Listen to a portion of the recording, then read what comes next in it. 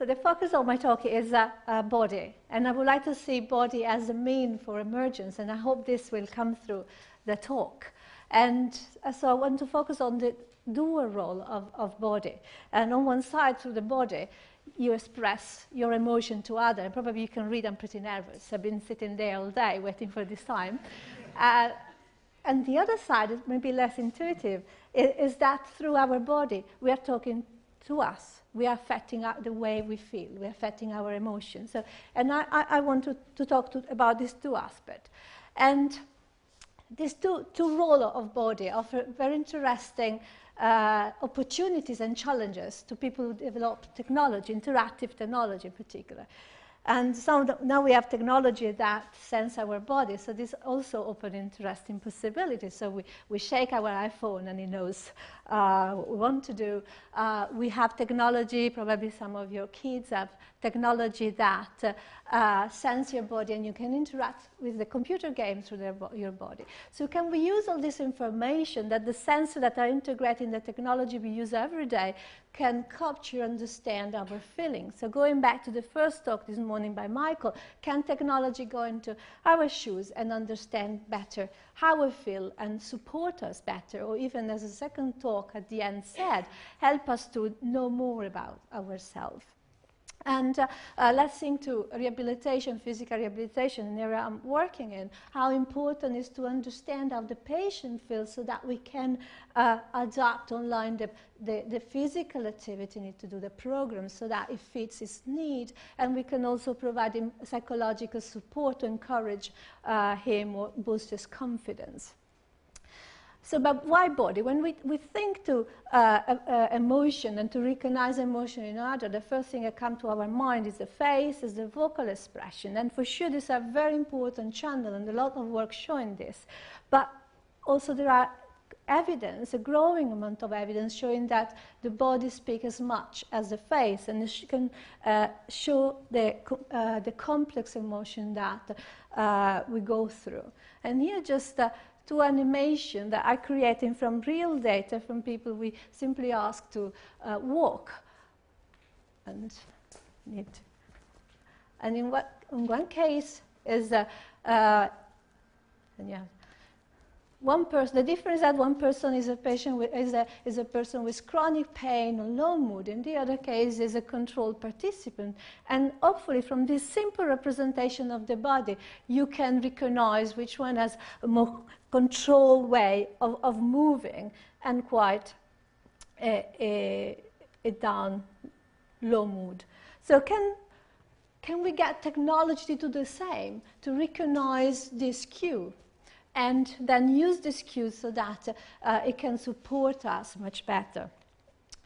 And so this is what we're trying to do in our lab. We are using a lot of sensors to continually capture information about our movement, our posture. We have a sensor placed on different parts of the body, limbs and trunk and the head and uh, we can capture information that describe the configuration of the body, how bent we are, how open our body is, uh, the, our speed, the jerkiness of our mood, uh, movement. But we also have uh, we use uh, electromyography sensor here that uh, allow to capture the activity of the muscle that may inform us about the emotion the person is going through, high contraction or some abnormally patterns, so like avoidance to use a part of our body because we are uh, afraid to increase injury.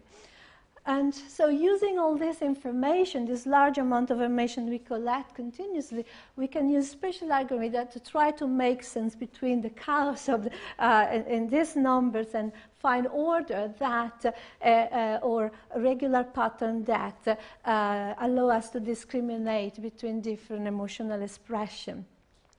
And here's some example of uh, the system can find just by looking at uh, uh, the, the degree of bending of the top uh, of the trunk and the head, uh, being able to discriminate between high mood and, and low mood, or also other type of information. In this case, is the amount of movement, and looking at this over time and how, and looking at how the, the variability uh, of this measure allow us to, to identify very different profile that reflect a different state the person may be in. And how does this uh, uh, technology perform? Just by using this low information, so without contextual information. And pretty well, the, the, the result of our system here are in blue. And uh, uh, it was about recognizing four different emotional states in a computer game context. So naturalistic expression, people didn't know what we were doing. And we can see that if we average this uh, result, they're pretty similar to the red line that represent uh, the, the, the agreement obtained by human observer judging the same type of posture. And of course, we, we, are not reading what the person is really feeling. We are reading what, uh, from outside we can perceive from this uh, uh, um, configuration and uh, dynamic information. And if we compare this result to uh, current uh, results obtained in the challenge on rec automatic recognition of naturalistic facial expression, we can see that the best results in yellow were pretty similar to the one we obtained on uh, just using the body information. So quite powerful uh, modality for reading how a person uh, feels. But this is not all the story because, um, well, we live in a multicultural, for example, we live in a multicultural society. So we, we, we mix up with people from different culture. And since we read so much from other people's body, how sure are we that a person from another culture will read correctly the way uh, our body, our body expression? Well, uh, this, uh, um, we did some uh, uh, study on what is called a, um, to investigate the universality of this uh, body expression. And in fact, we found a very mixed picture. There are um, expressions that uh, all agree uh, correspond in this case to sadness, this bent body and the arm bending along the, uh, along the body.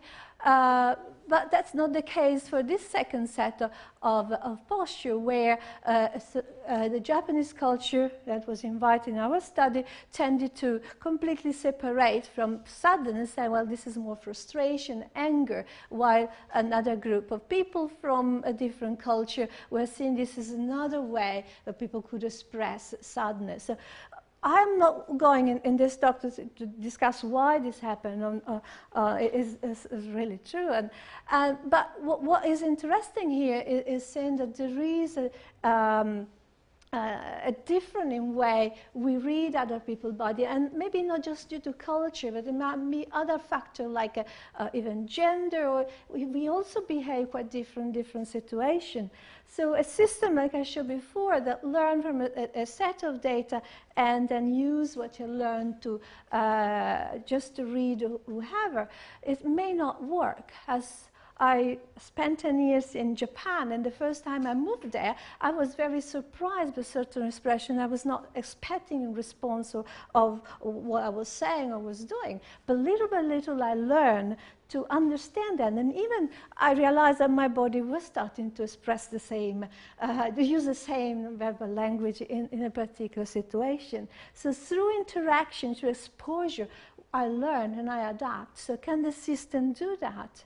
And uh, through interaction with the person continuously learning and, and, and uh, get to understand his friends or his user much better. And here, uh, sorry for the not very nice graph, but some uh, result we obtained in a study we, we run with uh, uh, having a, a, system interacting with a student during a learning activity and see if the system starting from zero, not knowing anything of this body language, and see if you could develop a code um, uh, um, to, to understand what the person was feeling and then use that information to adapt.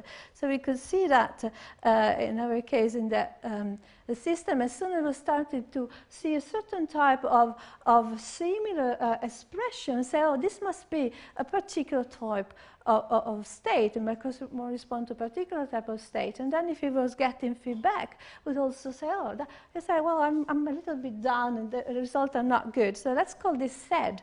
And then seeing, oh, look, another one, this is pretty different from the other. It must be another type of affected state. And, and then if I get feedback and I look at the result, that must be a good one and, and so on. So new category were emerging. What was interesting is that uh, if another category was emerging, and of course I got the feedback, oh, this is called interest, but it was uh, somehow interfering with the previous one that I learned because they share a lot of features, they share a lot of common, so quite quiet, so on. The system was started to uh, unlearn a little bit what's said and, and having, again, to try to understand and find the feature that allowed this to separate. And through continuous exposure, this curve could go up again and continue to grow. So it was a continuous learning and unlearning to adjust to this person and knowing this person better. So rather than something predefined, and where even the language was predefined, but new words could come out. It could be even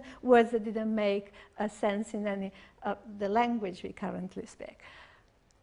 So Body is quite an important, uh, interesting modality that uh, can make, uh, help us to uh, have a, a, a, communication channel emerge between us and technology in which we can communicate over um, about our fact. We can get technology to better understand us and better support us. And it be a very interesting modality because in some situation we may uh, not have facial and, and, vocal expression available. We think uh, monitoring people in a, a large environment outside. But there are also situations in which privacy is a concern and maybe facial expression are not the best way to, to support a person. But uh, what is more interesting is then to also put all this uh, modality uh, together. Um, but this is only one side of the story. Uh, there is another side of the story. As I said at the beginning, uh, our body doesn't speak only to others, but it speaks also to ourselves. There is incredibly uh, increasing number of evidence that the way we stand, the way we move is affecting the way we perceive ourselves and we perceive the environment uh, around us, object, products, and even people.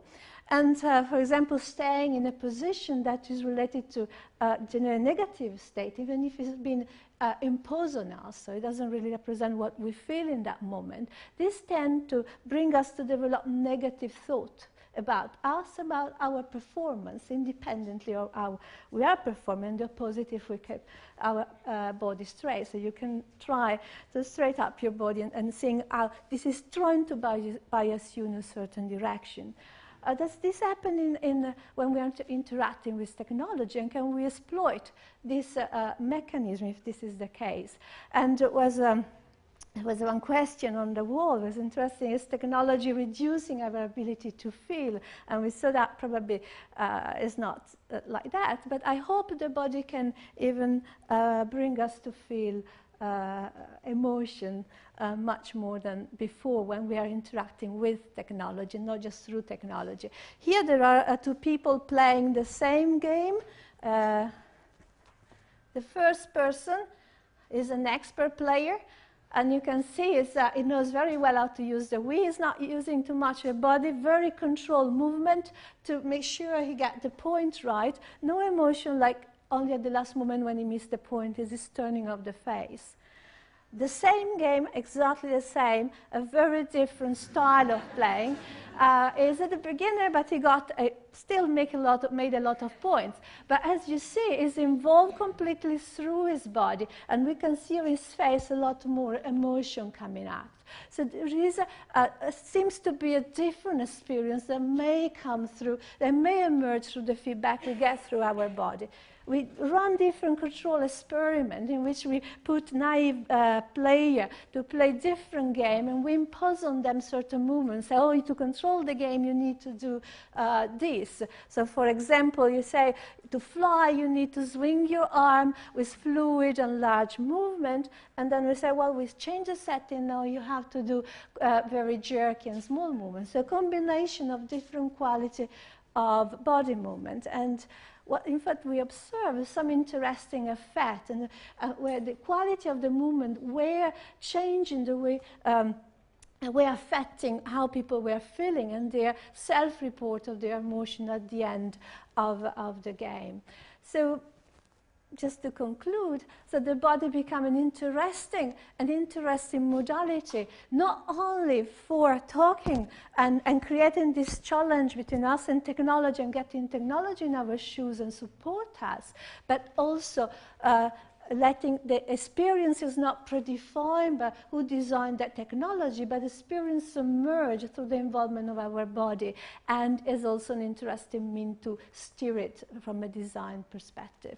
And I conclude here. Uh, so just one more slide, as it was at the end. And here is, as I said at the beginning, we are working in a large project for physical rehabilitation of people with musculoskeletal chronic pain. And here the idea is to motivate them to be physically active. And we are using all the modality to read their facial expression in collaboration with Imperial, working on face and, uh, and voice, and we're working on body. And for us, become interesting to see this uh, movement that relate to hesitation or stiffness uh, or asynchrony in the way the muscles are used may indicate anxiety or avoidance of doing movement that uh, may, according to their thought, bring to uh, injury. And uh, I would like to conclude by thanking uh, all the people working with me, uh, my collaborator, my student, and also the other people on the ground.